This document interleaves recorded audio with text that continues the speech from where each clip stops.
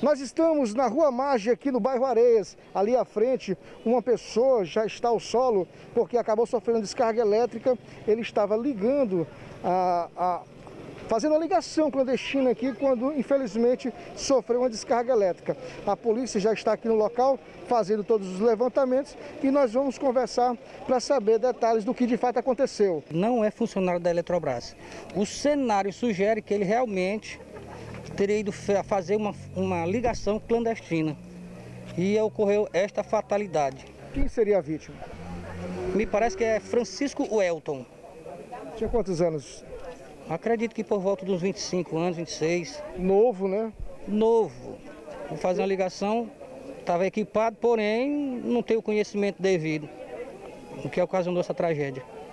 Ah, quer dizer que ele estava utilizando alguns EPIs, mas não tinha o manuseio correto. O principal ele não tinha, acredito eu, que é o conhecimento de cátedra, não tinha. Isso aí é só remexe com energia é, eletricista. Ele talvez mexe, mas não é formado. Infelizmente, esse fato lamentável que aconteceu aqui no bairro Areias, Rua Mage, zona sul da capital. Agora é aguardar a perícia, não é isso? Isso, estamos aguardando aqui a perícia e o ML, ok?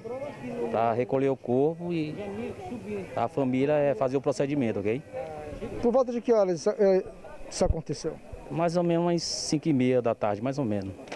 A gente percebe que o, com a retirada do corpo, o fornecimento de energia foi restabelecido, mas por quase duas horas aqui, devido ao que aconteceu, aqui as pessoas é, ficaram sem um fornecimento de energia elétrica e a presença da polícia foi fundamental para manter a tranquilidade aqui de tudo que está acontecendo.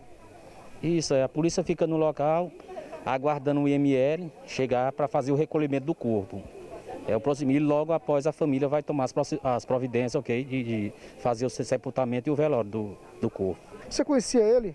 Conhecia. É, ele trabalhava fazendo esse tipo de ligação? Ele já era acostumado? Ele sempre fazia. Sempre fazia, né? Morava aqui mesmo, perto? Ele mora bem ali naquela outra rua. Ah, mora aqui na outra rua, né? Tristeza, né? É, sim. A senhora também era amiga dele? Quero falar não. Não. Muito sentimento aqui, as pessoas muito comovidas, infelizmente, com o que aconteceu. Você também era amiga dele? Isso, era. Quanto tempo você conhecia ele? De muitos, de quatro anos agora. Uma pessoa brincalhão. Como é que ele era? Quem era ele, de fato? Era um, um rapaz que respeitava todo mundo, era um rapaz honesto, e isso mais. Vamos ter que afastar agora, porque com a chegada da, da perícia, é claro, nós vamos ter que fazer, é, o, nos afastar para que o procedimento seja feito é, por parte da perícia que se encontra aqui. Olha só, mostra lá eles ali fazendo isolamento aqui no local. É claro que isso tem que ocorrer sempre é, em situações como essa para que a perícia possa trabalhar de fato, saber o que aconteceu, onde e como ele sofreu essa descarga e, infelizmente, fazer ligações como essa.